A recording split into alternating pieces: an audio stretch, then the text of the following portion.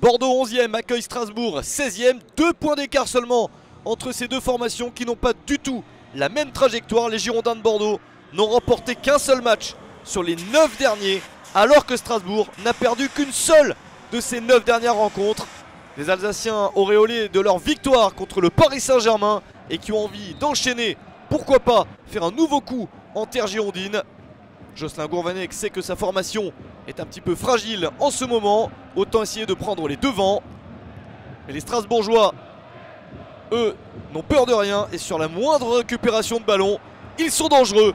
Première action, première offensive, ça fait déjà but pour le Racing. Stéphane Bauken à la deuxième minute.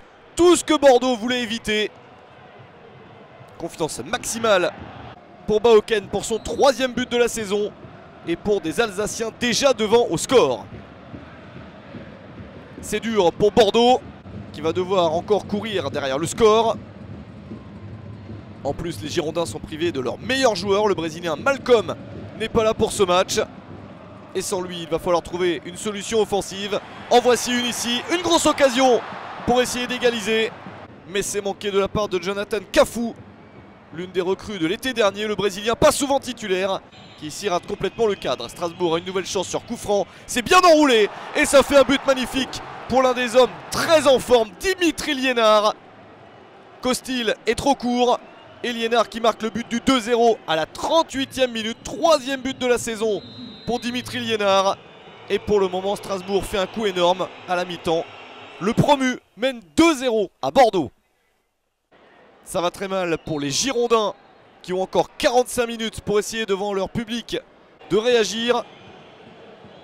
Et on voit bien qu'il n'y a aucune confiance pour l'équipe locale. La confiance, elle est totalement dans le camp adverse. Avec ici le travail magnifique de Martin Terrier qui rate le cadre.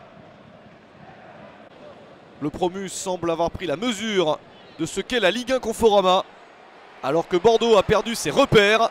Ballon récupéré par le Racing. Une contre-attaque menée rapidement par Martin Terrier. Il a plein de solutions collectives. Et pourtant, il joue pour lui. Il transperce cette équipe bordelaise. Et l'international espoir français qui marque son troisième but cette saison. Prêté par Lille à Strasbourg. Il est très efficace en ce moment. 64e minute. Le coup de grâce pour Bordeaux. Le troisième but strasbourgeois. Et forcément des sifflets des supporters des Girondins.